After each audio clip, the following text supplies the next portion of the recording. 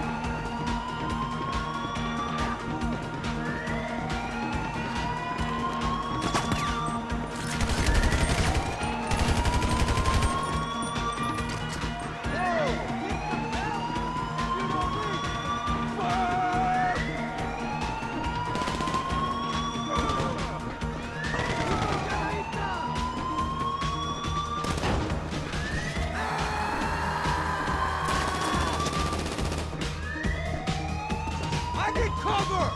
새끼들 죽었어! 아! 아! The car's in the container. Shoot the lock to open it up.